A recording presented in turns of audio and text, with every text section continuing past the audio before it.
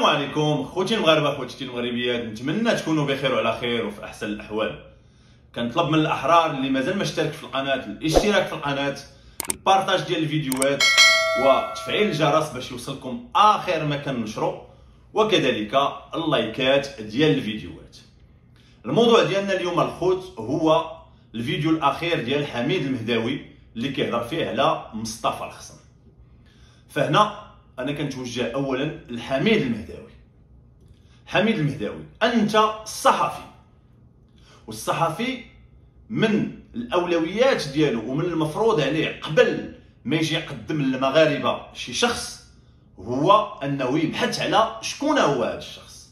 وهنا الطريقة اللي قدمتي بها مصطفى الخصم للمغاربة فأنا كنشوفها يا إما انك ما بحثتيش مزيان وهنا انك ما درتيش العمل ديالك أخي حميد المهداوي لأن اذا ما درتيش الخدمة ديالك وبحثتي مزيان وجبتي المعلومة الصحيحة فهنا كتجيب مغالطات للمغاربة.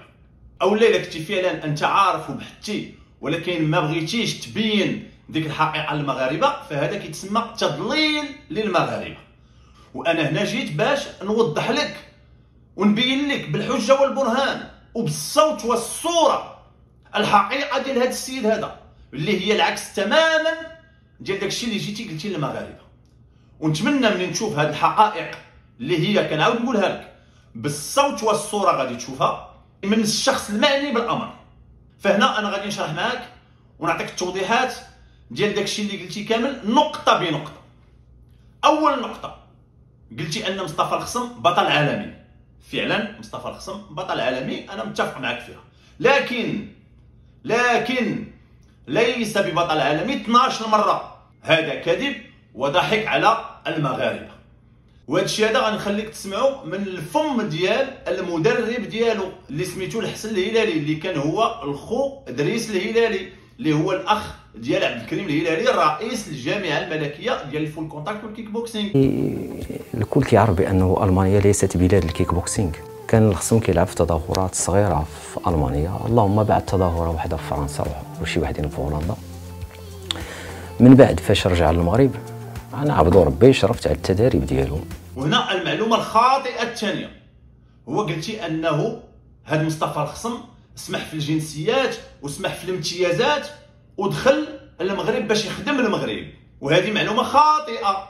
فمصطفى الخصم تم الترحيل ديالو. من ألمانيا إلى المغرب. ماشي سمح في الجنسية ودخل هو لخاطرو تم الترحيل ديالو من ألمانيا إلى المغرب. هذا هو الواقع.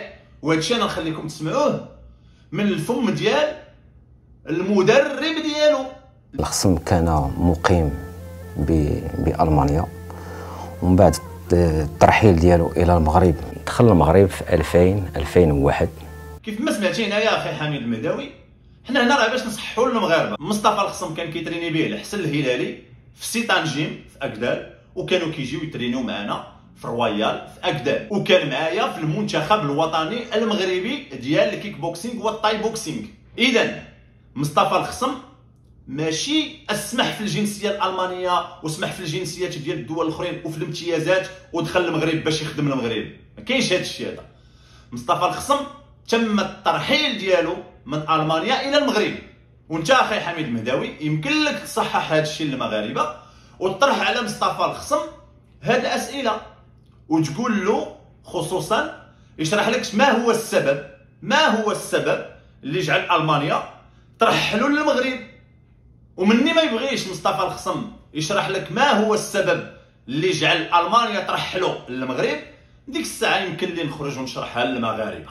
وهنا أخي حميد المهداوي أنا غادي نوريك وغادي تسمع من فم مصطفى الخصم. وبالصوت والصورة أشنا هي الامتيازات والريع اللي كان باغيه من المغرب.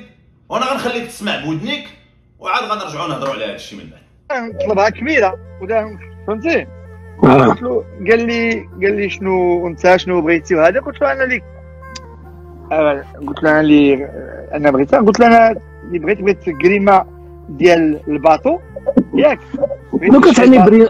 شنو كتعني بكريمه ال bateau السي كريمه ال bateau هي كريمه ديال البحر العالي ديال ديال الحوت ديال ديال كتصيد في البحر العالي. ياك. ولي كاين ثاني كريمة البحر. ها؟ كاين ثاني كريمة البحر. bien sûr كاينين آه كاين كلشي عنده. شوف دابا أنا شنو شنو نطلب؟ الملك هذاك ملي غنطلب غنطلبها مقاده ولا نخليها. يا شوف هادشي راه طلبته ياك. درنا الطلب ديال داكشي قلنا أنا غنبني. إي اراو اراونا الأرض بلاصة زوينة أنا غنبني. وهنا الخوت اولا كنبغي نشكر القناة ديال نضال لأن نضال هو اللي جاب هاد المعلومات ودار عليهم فيديو. اذا كلكم الخوت حميد المداوي هانتوما سمعتوا مصطفى الخصم النهار قالوا ليه شنو بغيتي من عند الملك؟ أشنو قال لهم؟ وهو تيقولها قال لرشدي الشرايبي بغيت الجريمه ديال الصيد في أعالي البحار. الجريمه ديال الصيد الرخصة ديال الصيد في أعالي البحار. وقالوا له هادشي ما كيعطيهش الملك. ومن بعد شنو تيقول؟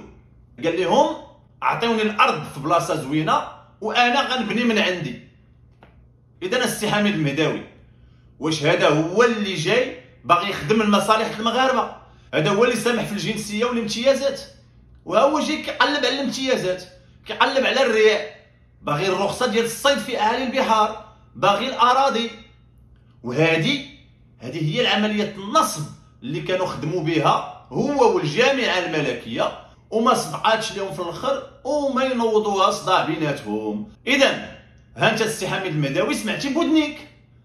فأنا كنتمنى منك دير العمل ديالك ديال الصحفي وتجيب مصطفى الخصم كما جبتيه بينتيه للشعب المغربي على أنه بطل عالمي 12 مرة وهز الراية وسمح في الجنسيات وسمح في الامتيازات ودخل باش يخدم المغرب. فهنا من الدور ديالكم المفروض عليك أمام الشعب المغربي تجيب مصطفى الخصم مرة ثانية وتواجهوا بهذا الشيء تواجهوا بهذه الحقائق. تقول له يشرح لنا ويشرح للشعب المغربي. القضية ديال 12 مرة بطل العالم ويورينا يوري الشعب المغربي فينا هما هاد البطولات. يورينا هاد البطولات ديال 12 مرة بطل العالم راه ماشي أي تظاهرة يعني أي قالة كتطلع لها كومبا تلعبها وتجي تقول لنا بطولات العالم راه ماشي بطولات العالم. راه فرق ما بين بطولات العالم وما بين القالة. هادشي خاصك تسأل به مصطفى الخصم يشرحوا للشعب المغربي.